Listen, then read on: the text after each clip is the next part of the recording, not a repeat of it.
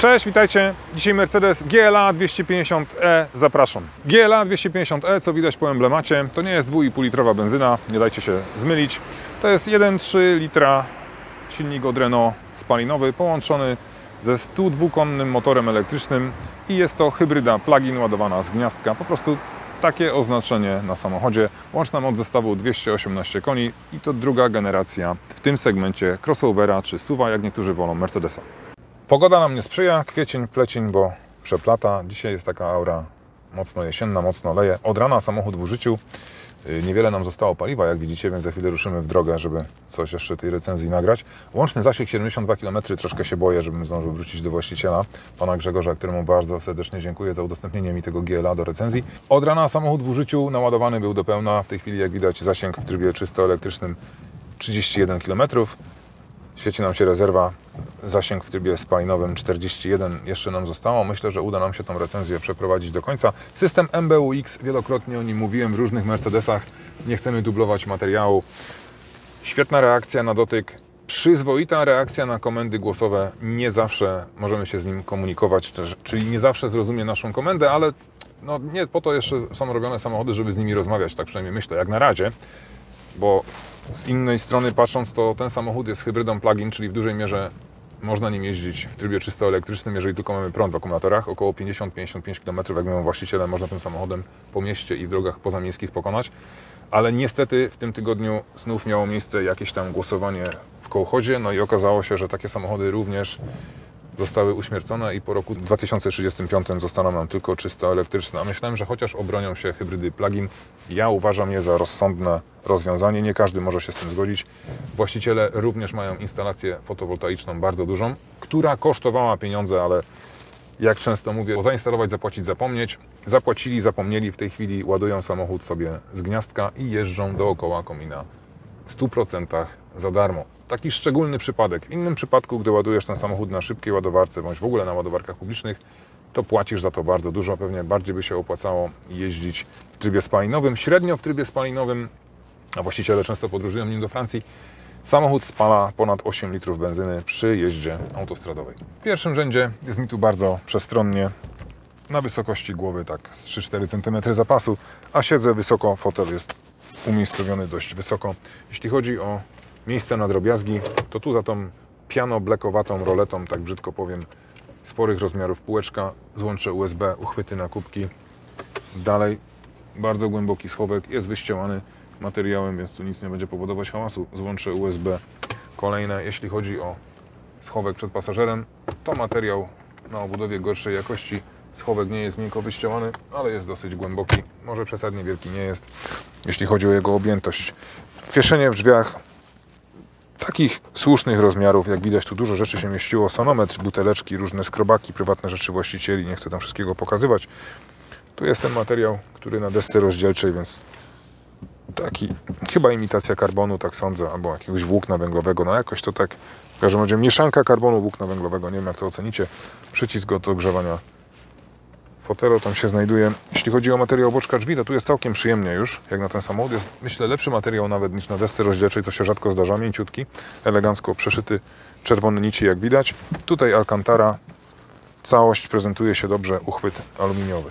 Zarówno drzwi pasażerów tylnego rzędu, jak i drzwi kierowcy czy pasażera przedniego rzędu otwierają się pod dużym kątem, swobodnie umożliwiając zajmowanie miejsc wewnątrz. Prezentowany egzemplarz odpycha się na dziewiętnastkach, barumy, jak widać Polarisy, piątki, rozmiar ogumienia to 235-50 na 19 i taki wzór czarnej alufelgi. Wracając jeszcze do drzwi, to zarówno z przodu, jak i z tyłu dobrze osłaniają próg, tak mocno zabudowane uszczelkami, to myślę, że nogawek nikt sobie nie ubrudzi wsiadając do wnętrza. Jeśli chodzi o miejsce w drugim rzędzie, to spójrzcie, wybaczcie, że mam czapkę, ale jest deszczowy, zimny dzień. Dużo miejsca na wysokości głowy, bardzo dużo na stopy, rzadko w którym samochodzie tyle jest. Tutaj jeszcze ta przestrzeń jest podświetlana, jak widać. Przy fotelu ustawionym pode mnie na piąstkę zapas na wysokości kolan. To mnie zaskakuje pozytywnie. Boczek drzwi z tyłu, tak jak z przodu, tu mięciutko, tu elegancka alcantara. Tutaj nieco bardziej twardo, ale w życiu bym nie powiedział, że plastik fantastik. Dosyć sporych rozmiarów kieszeń i ten aluminiowy uchwyt. To całość robi dobre wrażenie. Z tyłu również nie szczędzili. Czy tutaj można podróżować w piątkę? No i okazuje się, że nawet przy moim wzroście swobodnie można. To mnie zaskakuje pozytywnie. Nawiewy dla pasażerów siedzących z tyłu. Tu notabene jest twardo. Tutaj złącze USB, tu delikatna półeczka. Zarysowany tunel środkowy. Jak widać samochód nie jest z napędem Formatic. Przestrzeni z tyłu sporo. Są fabryczne isofixy, bo jak mi mówi pan Grzegorz, podróżuje z małżonką bądź małżonka i od czasu do czasu zabierają wnuki, wtedy montują foteliki w dość łatwy sposób. Można sobie oparcie rozkładać w systemie 2 trzecie, 1 trzecia. Istnieje także możliwość rozłożenia tej środkowej części osobno. Czyli możemy tutaj sobie w różnoraki sposób planować wnętrze. Jeżeli jadą dwie osoby, mają długi przedmiot, to uda się tutaj długi przedmiot w taki sposób przewieźć. Klapa unoszona elektrycznie, a pod nią 435-litrowy bagażnik. W wersjach czysto spalinowych jest on około 50 litrów większy. Jak widać jest dosyć ustawny, ale jak to zwykle w pluginach część miejsca zajmuje akumulator czy bateria. Tutaj taka przestrzeń na drobiazgi. Znajduje się tutaj trójkąt, parę różnych przegródek, brak koła zapasowego.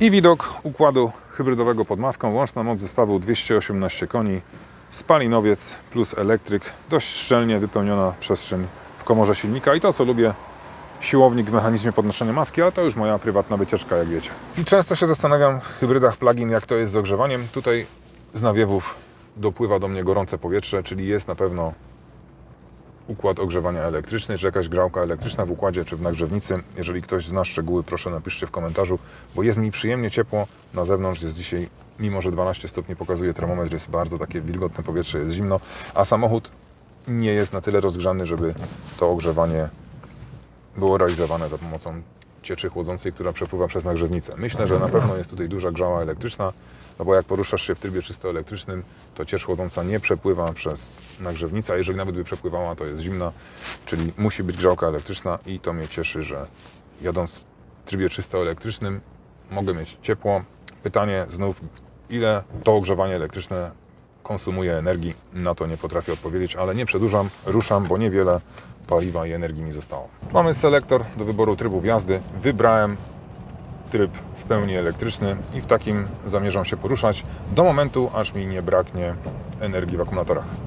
Od ostatniego resetu 2500 km, jak widać, 7,7 litra średnie spalanie, do tego 3,6 kWh zużycie prądu. Tak to wygląda w GLA pluginie i są to dane, które uzyskali właściciele tego samochodu. My sobie oczywiście te kilometry spisujemy. Nie chcieliśmy robić resetu liczników, żeby Wam pokazać średnie zużycie paliwa, żeby to było miarodajne, a nie tylko recenzyjne. Zawsze im dłuższy odcinek, tym myślę większa miarodajność. Gdy rozpoczynaliśmy recenzję, mieliśmy do pokonania 44 km w trybie czysto elektrycznym, ale wierzcie mi, samochód już od dwóch godzin jest cały czas w użyciu, nawet gdy nie jeździł no to był w użyciu, czyli pobierał jakieś tam ilości energii. Także myślę, że spokojnie te 44, a nawet 50 km, jak mówią właściciele, jeżdżąc dookoła komina w trybie czysto elektrycznym, można pokonać. No i to niewątpliwie dla mnie jest ważna cecha plugina. No po to się kupuje plugina, jeżeli masz już swój prąd za darmo, który wiadomo wcześniej musiał Cię kosztować grube siano, jak montowałeś instalację fotowoltaiczną, no to robisz wszystko, żeby jeździć w trybie czysto elektrycznym, żeby po prostu nie płacić za tą jazdę. Poza tym, jeśli chodzi o samą jazdę, jedzie mi się bardzo przyjemnie. Moje subiektywne odczucie, może nieco wąski fotel na wysokości tutaj tułowia, chciałoby się, żeby był ze 2-3 cm szerszy, tak jakby nie jestem ogromnej postury, a tak ledwo się mieszczę. Jeżeli ktoś jest z jakąś tam delikatną czy większą nadwagą, to sądzę, że ten fotel będzie dla niego za wąski. On dla mnie jest wygodny, ale chciałoby się, żeby tutaj oparcie było 2-3 cm szersze. Takie moje odczucia po po dwóch godzinach obcowania z tym wozem. Podłokietnik miękki, dobrze ukształtowany i usytuowany przy moim wzroście, przypomnę po raz enty 1,88 m. Mogę sobie tutaj oprzeć rękę i pozycja za kierownicą dla mnie wygodna. Siedzisz nieco wyżej aniżeli w innych samochodach tego segmentu, nawet suwowatych. Takie moje odczucie i prowadzenie pewne. No i to, co jest niewątpliwą zaletą wszystkich elektryków czy pluginów, jeżeli jedziesz na prądzie, to to, że jest wewnątrz spora cisza. No, to nieaktywna jednostka spalinowa, więc przyjemnie podróżujesz w komfortowych warunkach i w sporej ciszy. Jeśli chodzi o dynamikę, to zadowoli ona nawet wybrednych i jeżdżąc w trybie czysto elektrycznym, oka mgnieniu samochód uzyskuje 90 na godzinę i z dużą łatwością to robi. Jeśli chodzi o materiały użyte do budowy wnętrza, to powiem tak, ja od Mercedesa zawsze wymagam więcej. Tu nie jest przesadnie twardo, ugina to się pod naciskiem palca, ale to jest Mercedes i moje chcieństwo jest takie, że powinno tu być lepiej. Tutaj taka imitacja karbonu czy włókna węglowego, ale sądzę, że jest to imitacja. Jadąc po równych nawierzchniach nic nie skrzypi, pod naciskiem dłoni również. Zobaczymy jak to będzie na dziurawej drodze. Tu nie jest źle. Cały ten ekran multimediów podwójny, bo jest on dosyć duży, absolutnie nie trzeszczy. Tutaj nawiewy również nie trzeszczą, co w niektórych egzemplarzach Mercedesa z takimi nawiewami zgoła inaczej wyglądało. Tu piano black, którego osobiście nie lubię, jak widzicie jest gdzieś delikatnie przykurzony, to od razu ten kurz widać, jak to zwykle z fortepianową czernią. Tutaj też nie brakuje fortepianowej czerni na tej roletce. Myślę, że nie jest to najszczęśliwsze rozwiązanie. Jeśli chodzi o obsługę, to gładzik świetnie działa. Zresztą cały ten MBUX, jak mówiłem, działa świetnie. Czy dotykowo, czy za pomocą gładzika. Różne rozwiązania, każdy może dopasować do siebie. Tu jeszcze takie dodatkowe podparcie do dłoni. Także ergonomia tu jest naprawdę wysokich lotów. Kierownica świetnie przeszyta, fajnie perforowana, spłaszczona u dołu, dobrze leży w dłoniach, taka mięsista. Może troszkę te, te panele tutaj z gładzikami, jeśli chodzi o wielofunkcyjność kierownicy, wymagają przyzwyczajenia i są przeładowane przyciskami, no ale to mówię, kwestia przyzwyczajenia. Jak poobsujesz tym samochodem dwa dni, na pewno swobodnie i spokojnie się do tego przyzwyczaisz. No i dźwigienka, jak to kiedyś miało miejsce w Mercedesach, dźwigienka zmiany biegów. Wygodne rozwiązanie, które również wymaga pewnego przyzwyczajenia, a dźwigienka z lewej strony obsługuje nam jednocześnie nie tylko kierunkowskazy, ale również i wycieraczki. Sprawdźmy zatem, jak się zachowuje GLA plugin jadąc nim po wyboistej drodze. Oczywiście w trybie czysto elektrycznym, chciałoby się powiedzieć na prąd po dziurach.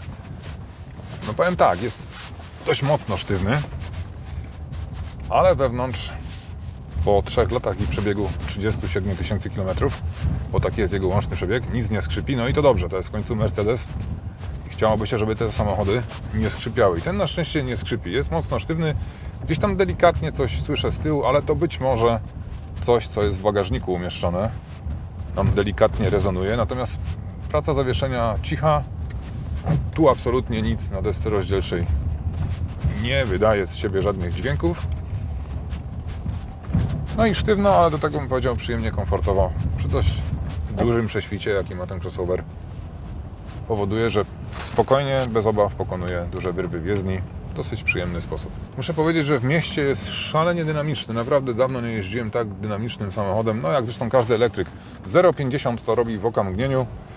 Jeśli chodzi o rekuperację, możesz sobie tutaj regulować poziom. Standardowo działa bardzo delikatnie, swobodnie, powolnie rekuperuje, natomiast jak jej zwiększysz tutaj poziom rekuperacji, to wiadomo, pedału hamulca nie musisz w ogóle używać. Samochód gwałtownie zwalnia. No i to jest prawidłowe przy, przy hybrydach plug-in, czy przy zwykłych hybrydach również. Wiadomo, odzyskujemy energię, a no jak już kupujesz taki samochód, to w dużej mierze chodzi o to, żeby nim w miarę możliwie jak najtaniej podróżować. Stąd działanie rekuperacji myślę zawsze mieć można ustawione na ten poziom wyższy. Jest to dla mnie prawidłowo i zawsze sam, sam tak jeżdżę elektrykami czy hybrydami plug-in. Zasięg na prądzie na 16 km. Robimy przejazd jednym ciągiem w tym momencie już do wyczerpania prądu w akumulatorach. No, chcę dojechać do Eski i jeszcze zrobić kickdown na Esce. Myślę, że mi się to uda. A jak mi braknie prądu, no to od razu ruszę w kierunku właścicieli, żeby im oddać samochód. Tym razem rzeczywiście rozładowany do zera i z wyjechanym paliwem w baku do zera. Rzadko to się zdarza w naszych recenzjach, żebyśmy właścicielom wyjechali paliwo tak jak w tym przypadku, no ale dzisiaj to będzie miało miejsce. Jeśli jesteś gadżeciarzem i lubisz mieć wszystko skonfigurowane pod siebie, tak powiem, to w tym samochodzie możesz spędzać wiele godzin i wszystko konfigurować według własnych upodobań. Mnogość funkcji i rzeczy, które tutaj można ustawiać, zadowoli każdego fana współczesnych multimediów czy informatyki. A jeżeli nie lubisz współczesnych multimediów, to możesz po prostu wsiąść, dźwigienką wrzucić drive i rozkoszować się jazdą, bo w trybie elektrycznym naprawdę ona jest przyjemna i cicha. No i przed nami SK. Udało mi się dojechać na prądzie, jak widać 10 km o 9 w tym momencie zasięgu elektrycznego, także robię kickdown w trybie w pełni elektrycznym. Już mi się kończy odcinek dojazdowy, wjeżdżam na SK, pedał w podłogę. No nie, mimo trybu w pełni elektrycznego, jak widzicie, uruchomił się silnik spalinowy przy kickdownie i po małej chwili 120. No i to zrobił w stylu bardzo dobrym. Dobry efekt dźwiękowy również, bo cały czas podróżowaliśmy w niesamowitej ciszy, a w tym momencie przy kickdownie ładnie zamruczał motor benzynowy. No i widać po obrotomierzu, że jadę w trybie hybrydowym. W tym momencie znów, chciałem powiedzieć przed chwilą, w trybie hybrydowym z użyciem silnika spalinowego, a w tym momencie znów obrotomierz leży na zero, czyli jadę znów w trybie pełni elektrycznym. To znaczy, że przy kickdownie, nawet gdy mamy uruchomiony tryb w pełni elektryczny, samochód i tak robi sobie wspomaganie ze spalinówki, czyli przewiduje sytuację, że potrzebujesz prawdopodobnie gwałtownie wyprzedzić, więc daje do dyspozycji pełną moc. Spójrzcie na sonometr, a za chwilę komentarz.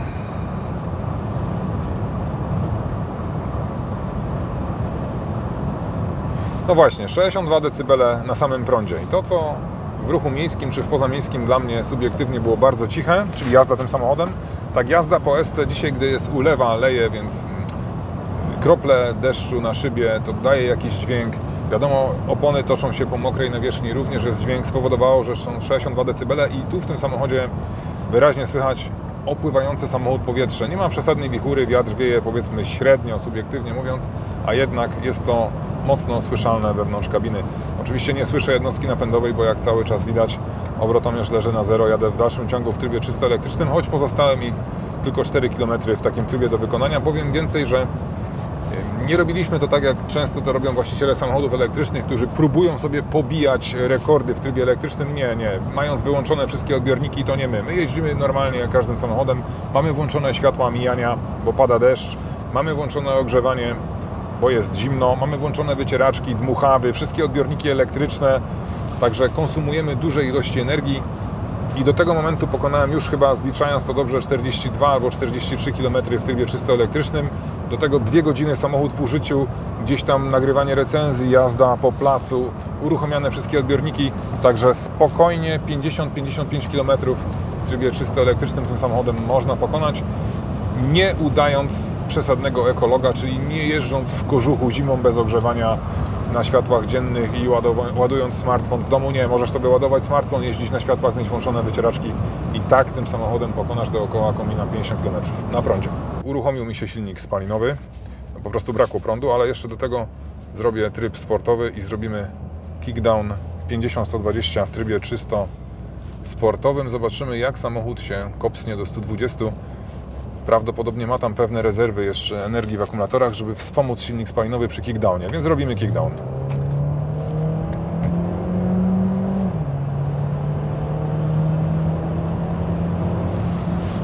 No powiem nieźle. Nie widzę zbyt dużej różnicy między tym trybem elektrycznym, gdzie robiłem kickdown, a trybem sportowym. Zakładam, że on pewne szczątkowe ilości energii ma do takich sytuacji, jest na takie sytuacje przygotowany, ale to tylko moje założenia. Czy tak jest w rzeczywistości, to jak ktoś jest tego pewien, to proszę o informację w komentarzu. Wrócę sobie do trybu komfort i kontynuuję podróż w dalszym ciągu już tylko i wyłącznie na paliwie, gdyż prąd mi się skończył.